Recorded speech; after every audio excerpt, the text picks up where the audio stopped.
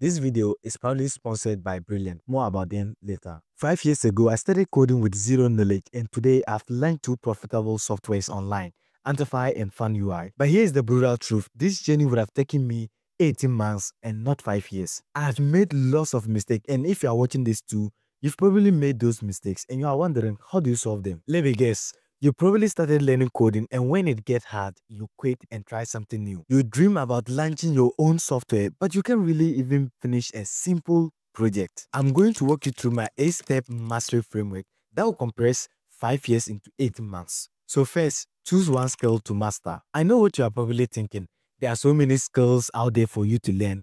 JavaScript, HTML, Python, React, the list never ends. And that's exactly why you are stuck. Listen to me, monk mode starts exactly with clarity. Choose one skill, just one skill. For me, it was React, not because people were talking about it or because React was popular, because I wanted to learn how to create interactive and intuitive design with JavaScript. And that is why I learned React. So I made a decision that changed everything for me. I ignored everything. I ignored all the frameworks. When I started, I wanted to learn backend, but then I thought like, okay, I cannot mix backend and frontend. So I just went with frontend and then I dished the backend. And that was the best decision I've made. Now here's the question that will change your trajectory for the better. What do I want to build in the next 60 days? Write down this question and try to find the answer. What do you want to build in the next 60 days? Not learn, not study, not understand, just build. Do you want to learn mobile apps, learn React Native or Flutter? Pick one. Do you want to build web applications? Learn React or Vue. Pick one. Do you want to build games? Learn Unity or Unreal. Just pick one. I know you are thinking about what if I pick the wrong choice? Here's what I've learned after launching two successful products. There is no perfect choice out there. There's only one choice and that is your choice. And the magic happens once you commit to that choice. Because focus is not about doing more. Focus is about doing less with more intention. One skill, 60 days total commitment. Before we move to the next step, write down what skills do you want to commit and learn and master in the next 60 days.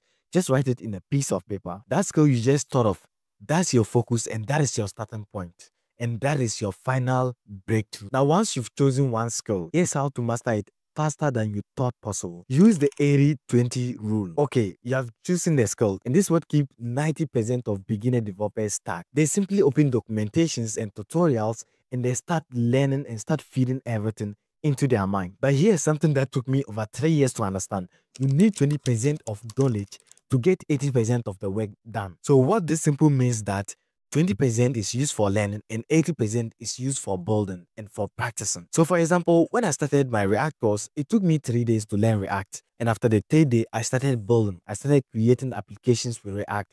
And this is how I mastered React. I built my first real application in just 2 weeks. Was it perfect? Absolutely not. Not even close to good. Listen, I know your brain is screaming right now, but what about error boundaries? What about performance optimizations? What about server-side rendering? Stop there. Those are 80% of the work. That gets you 20% of the result. You don't want that. You want 20% of the work to get you 80% of the result. Think of it like trying to drive a car for the first time. You don't start by learning how to rebuild the car engine. No. You start by learning how to turn the car on and you start driving.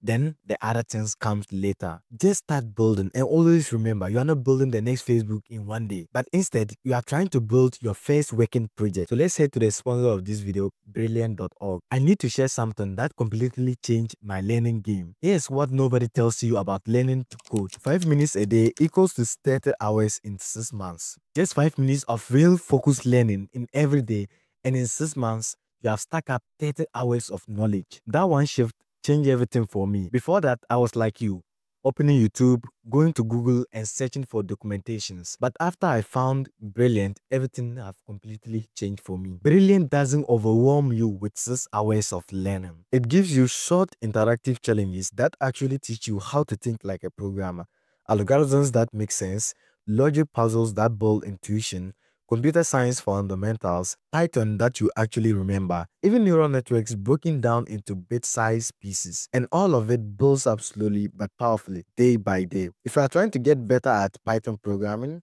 algorithms and data structures, computer science fundamentals, logic and AI concepts, you don't need to grind for hours. You just need a system that rewards consistency And that's exactly what Brilliance give you. Look, I could keep talking about this for hours, but the best way for you is to just go out there and try it out. So right now, grab your phone, scan this QR code on the screen. Or if you are watching this on your mobile, just click the link in the video description right after you finish watching this video. Brilliant is giving you 20% off their premium subscription when you use my link. So this is the QR code. Just scan the QR code to go to brilliant.org or after the video i'll leave a link in the video description. Just click on the video description you'll find a link and check out brilliant. Thank you brilliant for sponsoring this part of the video. So number three block time with a daily study plan. Now you have an idea about what to learn but here is where a lot of you fail. You don't have a system to follow. You're always constantly on your mobile phone going through tiktok and you don't have a study plan.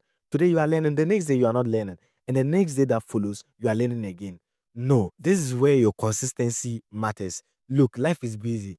A lot of you have kids and family members and a lot of things to do. And maybe you are even working. But the real work here is not just the total amount of time you spend learning, it's the consistency. Even five minutes a day is okay. If you can get five minutes a day or 10 minutes a day, that is okay. You just want to be consistent. So here's the challenge I want to give you.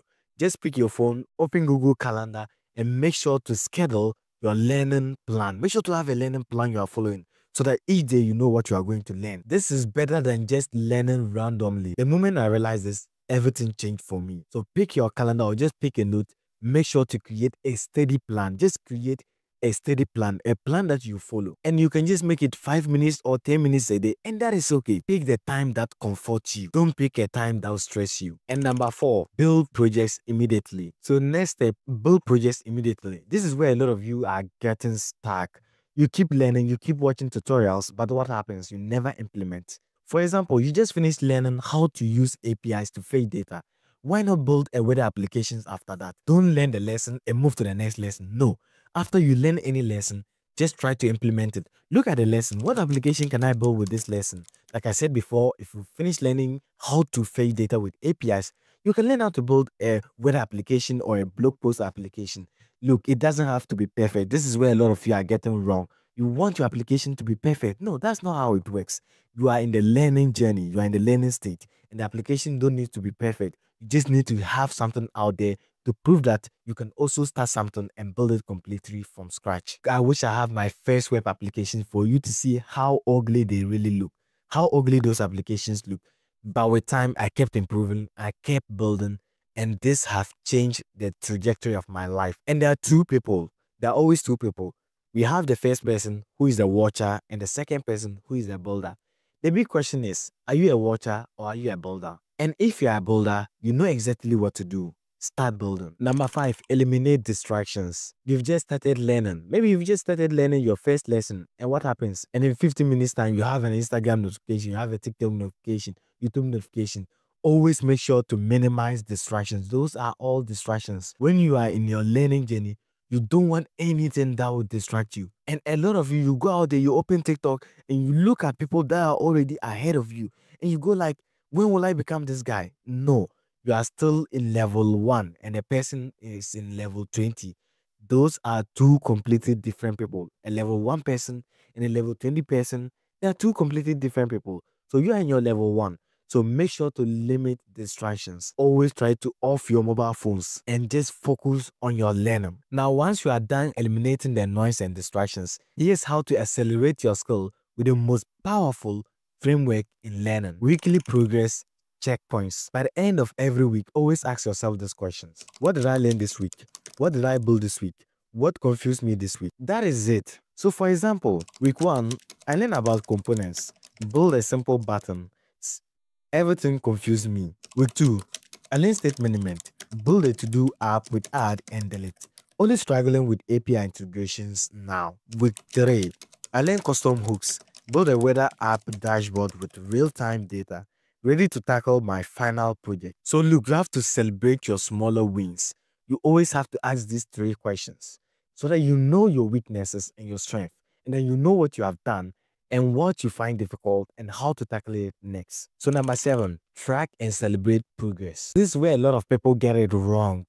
Don't wait until you are done before you feel proud. If you just accomplished something small, always celebrate it. Every small wins counts. So learning is more like playing a video game.